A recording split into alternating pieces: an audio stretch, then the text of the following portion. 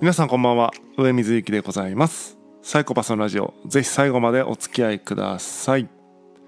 今日は9月5日土曜日の今4時ですね。午後4時に、えー、この収録をしてるんですけども、えー、台風10号はですね、えー、まあ沖縄そして九州とえー、来るということで、まあ、僕はですね、えー、福岡市に住んでますので、えー、結構この台風の影響を受けるだろうという状況になるわけですが、まあ、明日のね、えー、これこれ多分このラジオが配信されている日の、えー、夜中もしくはその次の日の月曜日とかにですね、えー、ひいひい言ってるんじゃないかなと思うんですが、えーまあ、ぜひぜひあの今日ね、えー、今日多分5本か6本ぐらいまとめたりするんで、えー、今週のラジオ6回分の後にですね更新されなかったら、えー、この台風の被害に遭ってるというふうに、えー、思っていただけるといいかなと思います、えー、ぜひみんなで生き残りましょう、えー、今日はですね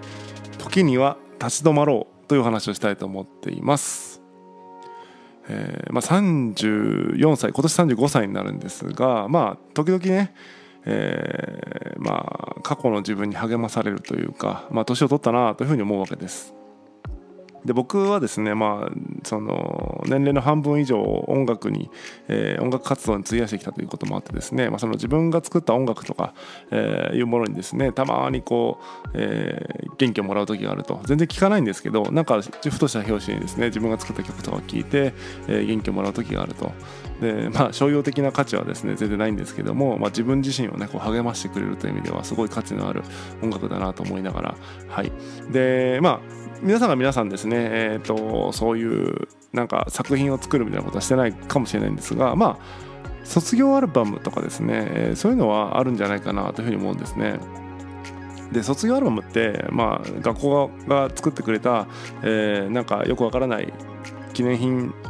だと思いきやですねやっぱり自分が過ごした、えー、そのひとときそしてその環境を、一つのね物質的なものに閉じ込めたものだという意味ではですね、まあ、ある種作品というか自分が生きた、えー、証としての、えーまあ、物質として残ってるものなのでなんか意外と価値があるんじゃないかなとここに来て思うわけですね。で 僕自身はですねあの実家に、えー、卒アルを置いてたんですがまあその母にですねあもう全部あの僕の荷物捨てていいよっていうことで言ってたんで卒アルもきっと捨てられてしまっているという状況にあるので まあこれは僕はまあ卒アルはないんですがまあ卒アルっていいよねという、えー、とこです。でまあそういうのを見てるとついついですねついついというか別にいい意味なんですがその過去の自分と今の自分を比較するというか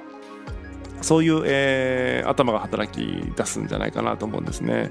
でまああの頃は良かったねとか言ってあの頃にタイムスリップしすぎる人もいるかもしれないですが、まあ、僕の場合はあこんな頃もあったな今の自分はみたいな感じでちょっとこう過去の自分と今の自分を比較するような、えー、思考が働きます。でまあそうなるとですね、えー、例えば今この瞬間なんかちょっと停滞感があるなとか最近うまくいってないなとかって思うことがあったとしてもまあ少なくともね僕が高校時代の頃の自分と比べて、えー、こういうところが変わったなとかいうやっぱ成長というか変化は感じやすいと思うんですよその時間が空いてれば空いてるほどですね。はい、という感じで、えー、例えば高校時代とか、まあ、僕で言うと音楽をそのある曲を作ったその頃ってこういう年齢でこんな環境だったなってことを思い出した時に、えー、全然考え方とかも変わってるしまあえー、成長してるなというふうに思うんですね。でその自分のその成長を感じれるその実感できるってこと自体がなんかもうね生きてる価値あるなって感じるんですよね、えー、ちょっとそれはあのポジティブすぎるかもしれないんですが、まあ、なんかあの頃よりも、えー、何？社会的地位が上がったとかあの頃よりもお金が稼げるようになったとかそういう対外的なところではなくて、えー、内面的なところですね。で、えー、あこういう変化起きてるなって実感できるとなんかねやっぱ生きてきたあのー、なんだろうな無価値じゃなかったとか生きてきたことをちゃんと、えー、咀嚼してねしょあのー、ちゃんと自分の中消化できて、えー、今の状態にあるんだなということを感じることができると思うんですね。えー、なので、えー、今行き詰まっている人ほど、えーまあ、今ね頑張っているというかあのちゃんと現実の課題に向き合っている人ほどですね、えー、時々こう立ち止まってね過去のそういったえー、記憶をたどってみるっていうのはいいのかなと思います。それをなんか空中でやるんじゃなくてなんかこうえー、卒アルとかね、えー、その物質的なものとか、えーまあ、僕で言うとその CD とか、まあ、CD じゃないな、えっと、音源ですね、えー、音楽とかを聞いて、えー、その残ってるものとして、えー、観測すると、あのすごくね、あの比較しやすいんじゃないかなと思います。今の音聞こえましたかね？ちょっともう雷がね鳴り始めてましてね、えー、もうちょっと台風がだんだん近づいているんじゃないかなと思いますけども、えー、はい。ということでちょっと脱線しました、えー、そんな感じでですね、えー、過去を振り返ってみてください。時々ね今頑張ってるは頑張ってる人ほど、えー、それはちょっと効果があるんじゃないかなと思います。逆にねえっ、ー、となんだろうな。その若い頃の方がすごい誠実に頑張っててどんどんそのなんだろうな自分に嘘をついて生きてきたという人にとってはですね逆に卒あるというかその昔が眩しすぎてですね、えー、死にたくなるかもしれないので、えー、もしも、えーと、自分にね正直に生きてないなっていうことをですねなんだろうね。えっ、とかなりその